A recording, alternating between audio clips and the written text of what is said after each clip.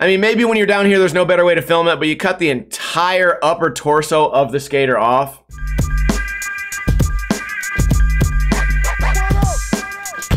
What is going on, guys? Welcome to another episode of Ninja Review. Today we are reviewing Dylan Jaeb. I don't know much about this guy, but I know he's very popular online right now, and I had several people in the comments suggest that I review this part. Also, full disclosure, I watched this part live on Twitch last night, so I'm not going to be able to be psychic today. It's not my first time seeing this. Rewind, and what the fuck just happened? Play.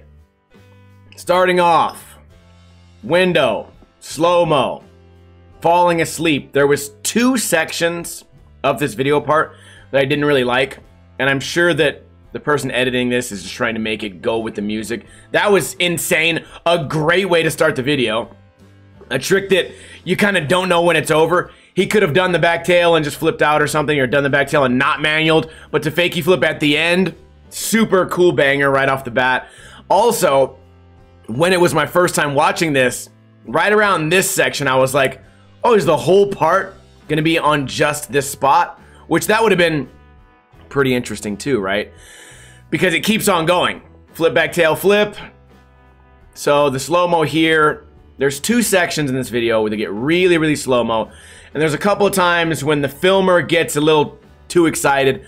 But like right here, I had all that action, all that action, and then it, then it all comes to a halt when everything becomes slow-mo. The quick uh, switch flip nose manual, pretty crazy. Pops out nice and stylish, and then the random slow-mo.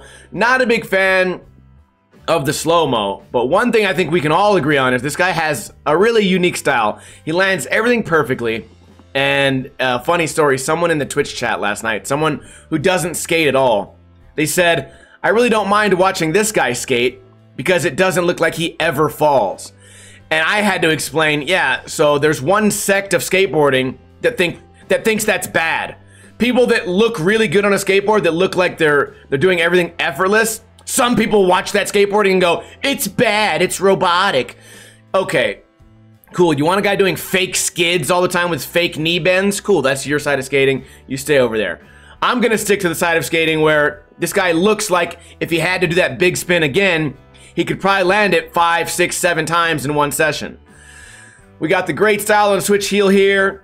We got ledges, we got stairs, we got rails, we got manuals. I mean, this guy really is the total package. And it's no surprise that he has so many followers and fans right now.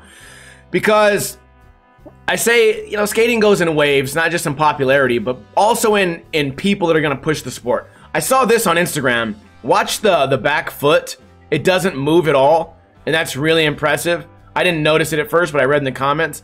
This back foot off the fakie flip doesn't move at all right there. That's really impressive. And I, I wonder if maybe he, he did this this line more than once. I mean, we watched Wade Desarmo last week, and it's it's very clear that that guy's going to do the trick over and over and over again until he gets it the way that he wants it, until he gets it to where it looks perfect. Really quick feet on the fakie flip, tail side fakie flip, front blunt uh, shove. We got a lot of a lot of different spots. We get especially like the manual guys. A lot of guys that are really good at only manuals, you'll get a whole part and it's nothing but manuals, you know, and a lot of the times you get these low impact skaters doing manuals. They don't often also jump downstairs and uh, and do rails. So I think, I don't know, just overall really impressive. Might be, I mean, might be one of the guys that that has the shot at skater of the year. Maybe he hasn't done enough. I don't know. I don't know what argument there would be for this guy not being like in the runnings. Can anyone let me know in a comment if he was like one of those guys you could vote for or not? Because if you could, look at that old lady being scared. Why, why, how could you be scared of this guy? You just saw him switch backside flip. Switch, by the way. Somebody last night on stream had to had to remind me it was switch as if I have never skateboarded in my life. like I just watched the whole video part. You you you think I was just confused the whole time? Uh, right here, the switch flip. I felt like the filmer got kind of weird, zooming down, then going out. Also, just a weird spot to film from in general. And there's one other uh, filming mistake, or what I would call a mistake, uh, on this kickflip shifty coming up. But man, okay, this fakie flip. Someone told me he fakie flipped Wallenberg. That sounds like Like, unbelievable.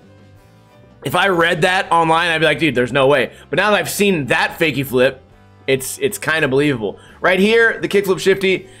I mean, maybe when you're down here, there's no better way to film it, but you cut the entire upper torso of the skater off. And I'm sure you're trying to show off just how shifted it was, which we get a great angle of that right here. But yeah, a couple of uh, small mess ups from the filmer, which if that's the only thing I can, if that's the only thing I can complain about, and I can't complain about anything this guy lands, every trick is bolts, every trick is perfect.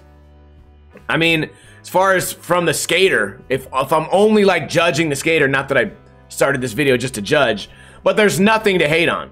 It's a 10 out of 10. And if the only thing I can hate on is, oh, the filmer showed too much slow-mo, or he cut the skater's head off in one clip.